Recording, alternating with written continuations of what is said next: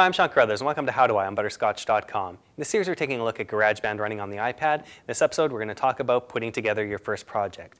Now, of course, it's fun to play instruments separately on GarageBand for the iPad, but it's even better when you actually can make them play together.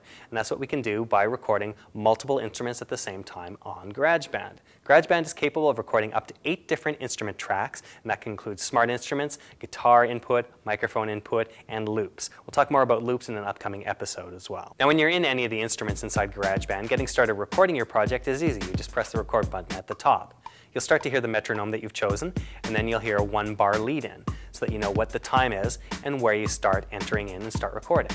Start playing along with the metronome and it'll continue to record until it reaches the end of the section you've predefined. After it hits the end of that section, the record will turn off and it'll start playing back what you've already played.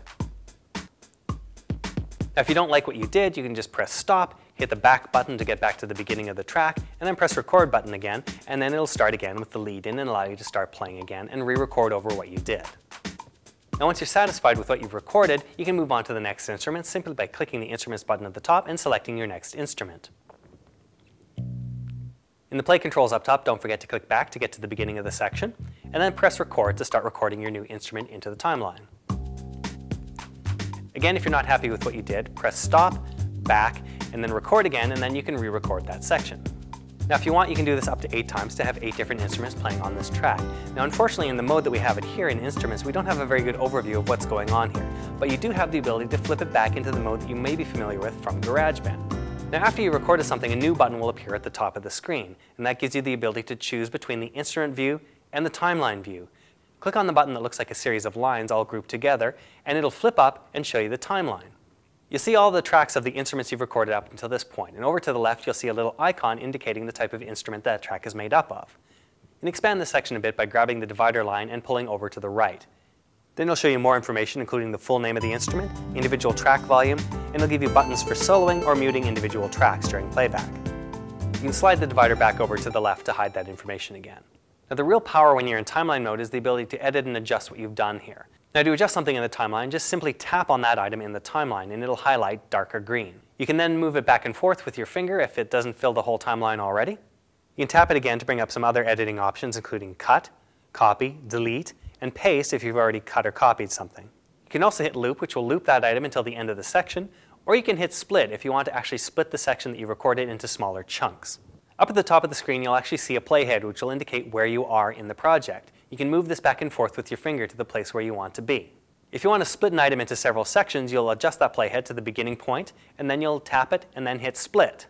You'll see an icon with a pair of scissors on it. Just drag that down from the top of the item to the bottom, and that'll split it in that section. Then go to another position on the timeline, then hit split again, and then you can take that section out if you want. Using the split functionality like this, you can actually split things into smaller sections and make them into modules so you can drag them around to other parts of the project, rearrange them, that sort of thing. At any point during this process, if you realize something has gone wrong, you can actually start hitting the undo button at the top to start reversing what you've just done in terms of editing. Now, if you haven't used all eight tracks already, you can add a new track to your project by going down to the bottom left and tapping on the big plus sign. It'll take you to the list of instruments, and it'll ask you to select one. Then when you select that instrument, it'll automatically take you into instrument view, and then you can start playing and recording using that instrument. Then when you're done, you can flip back into the timeline mode again. Now you can switch back and forth between instrument view and project view at any point by hitting those two icons. Now it's worth remembering here that you're recording in sections by default when you first start a project. Now you can go to the puzzle piece at the top and switch to a different section when you're ready to start recording into a new section, or you can select all sections if you just want to record throughout the entire thing that you have going on. Now the one big downside with GarageBand on the iPad is unlike on the Macintosh, you can't actually individually edit notes. So if you've recorded a section and it's particularly good, except for one bum note, you can't go back and just fix that one note. You actually have to record the whole section again, unfortunately. That might change in upcoming uh, versions of this. At this point, though, it is a bit of a disappointment.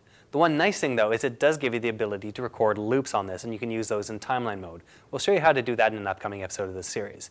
Check out other episodes of the series as well to see how to use the instruments and uh, record them into the timeline here. And check out the show notes for this and the other parts of the series at butterscotch.com.